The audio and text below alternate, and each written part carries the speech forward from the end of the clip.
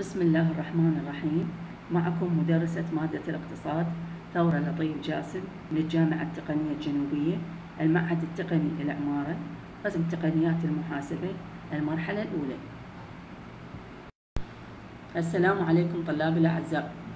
محاضرة الرابعة هي العرض. نتعرف على مفهوم العرض. العرض هو كل ما معروض من السلع في الأسواق وبأسعار مختلفة. خلال فترة زمنية معينة. فإن الهدف الرئيسي للمنتج هو الحصول على أكبر قدر من الأرباح بأقل التكاليف. نجي هنا إلى تعريف العرض. يعرف بأنه الكميات المختلفة من سلعة ما يكون البائعون راغبين ومستعدين لبيعها بالأسعار البديلة المختلفة وفي فترة زمنية معينة مع بقاء الأشياء الأخرى على حالها وتكون الكمية المعروضة دالة في السعر. بمعنى أن السعر يتغير يتغير أولا وعلى ضوء ذلك تتغير الكميات المعروضة. العوامل المحددة للعرض. عندنا مجموعة من العوامل تحدد لنا عملية العرض عرض السلعة أولا سعر السلعة المعنية. عندما يرتفع سعر السلعة يزداد العرض مع بقاء الأشياء الأخرى على حالها أي أن العلاقة بين السعر والكمية هي علاقة طردية. ثانيا الظروف الطبيعية. أكيد عندما تكون الظروف ملائمة للزراعة مثلا يزداد العرض خاصة في الإنتاج الزراعي حيث يزداد عرض المنتوجات الزراعية في المواسم الممطرة ثالثا الفن الإنتاج الإنتاج السائد أي التكنولوجيا المستخدمة في الإنتاج. إذا كانت متطورة وحديثة يزداد العرض وإذا كانت بدائية يكون العرض أقل. أي لأن التكنولوجيا تؤدي إلى سرعة زيادة الإنتاج وتقليل التكاليف. يعني زيادة الربح وزيادة عرض السلعة رابعا تكاليف الإنتاج. إذا كانت تكاليف إنتاج الوحدة الواحدة من السلعة مرتفعة يكون إنتاج السلعة محدود ويقل عرض أكيد لأن هدف المنتج هو تحقيق الأرباح. خامسا توقعات المنتجين حول الأسعار في المستقبل.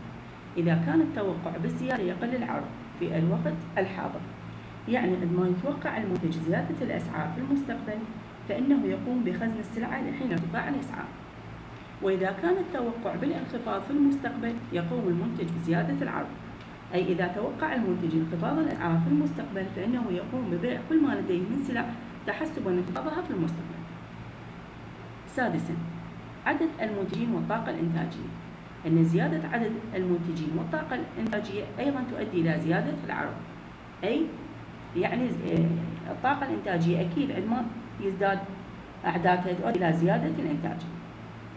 سابعا الفترة الزمنية وهي من العوامل المحددة للعرض وخاصة في المنتوج الزراعي. أي أن زيادة عرض مادة غذائية يتطلب فترة زمنية أي موسم زراعي معين لغرض زيادة عرض الحبوب مثلا. قانون العرض. مع بقاء الأشياء الأخرى على حالها فإن البائعون يعرضون كمية أكبر من سلعة ما إذا ارتفع ثمنها وكمية أقل إذا انخفض ثمنها أي أن العلاقة طردية ما بين السعر والكمية المعروضة. عندنا جدول العرض. هو سلسلة من الكميات التي يكون البائعون مستعدين لعرضها مقابل الأسعار المختلفة المتاحة في فترة زمنية معينة مع بقاء العوامل الأخرى على حالها. مثل إيش العوامل الأخرى على حالها؟ تبقى المواد الأولية الأجور وغيرها. وتكون الكمية المعروضة دالة للسعر بمعنى أن السعر هو الذي يتغير أولا وعلى ضوء ذلك تتغير الكمية المعروضة. منحنى العرض هو عبارة عن جدول يوضح العرض في شكل بياني حيث يمثل السعر يتمثل السعر على المحور العمودي والكميات المعروضة من السلع على المحور الأفقي. في هذا الشكل فإن منحنى العرض يرتفع من أسفل إلى أعلى ومن اليسار إلى اليمين مبينا العلاقة الطردية بين السعر والكمية المعروضة حيث كلما ازداد السعر زادت الكمية المعروضة أي أن ارتفاع منحنى العرض يكون موجب كما أن ارتفاع السعر يحفز البائعين الحاليين على زيادة عرض السلع وأيضا يحفز بائعين جدد على دخول السوق ولذلك يزداد العرض. أخذنا مرونة الطلب السعرية. نجي هنا إلى مرونة العرض السعرية. نعرفها بأنها هي مدى التغيرات النسبية في الكميات المعروضة لسلعة ما استجابة للتغيرات النسبية في ثمن السلعة نفسها. ويمكن قياسها بقانون الآتي. معامل مرونة العرض يساوينا التغير النسبي في الكمية المعروضة على التغير النسبي في السعر. أخذنا خمس حالات لمرونة الطلب السعرية. واليوم راح ناخذ أيضا خمس حالات لمرونة العرض السعرية. الحالة الأولى مرونة عرض متكافئ عندما يكون التغير النسبي في الكمية المعروضة لسلعة ما مساويا للتغير النسبي في الثمن يكون معامل المرونة يساوي واحد. أي أن التغير النسبي بالكمية المعروضة يساوي التغير النسبي في السعر. الحالة الثانية عرض مرن. عندما يكون التغير النسبي في الكمية المعروضة لسلعة ما أكبر من التغير النسبي في الثمن يكون معامل المرونة أكبر من واحد. أي أن التغير النسبي في الكمية المعروضة أكبر من التغير النسبي في السعر. ثالثا عندنا عرض غير مرن. عندما يكون التغير النسبي في الكمية المعروضة لسلعة ما أصغر من التغير النسبي في ثمن السلع يكون معامل المرونة أصغر من واحد. أي أن التغير النسبي في الكمية المعروضة يكون أقل أو أصغر من التغير النسبي في السعر. الحالة الرابعة عرض عديم المرونة عندما لا تتغير الكمية المعروضة مهما تغير الثمن. هنا الكمية ثابتة والسعر يتغير.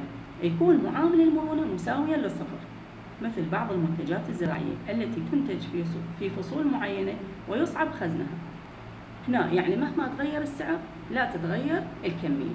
معامل المرونة يساوي صفر. الحالة الأخيرة والخامسة عرض تام المرونة تتوفر كميات غير محدودة للبيع من سلعة معينة وبسعر معين. ولا تعرض أي كمية مهما كانت قليلة بسعر أقل من السعر السائد يكون معامل المرونة لا نهائي مثل المياه المعدنية من الينابيع فيها تكون الكميات غير محددة والسعر ثابت. أي معامل المرونة يكون ما لا نهاية وبهذا نأتي على ختام محاضرتنا لهذا اليوم. وشكرا.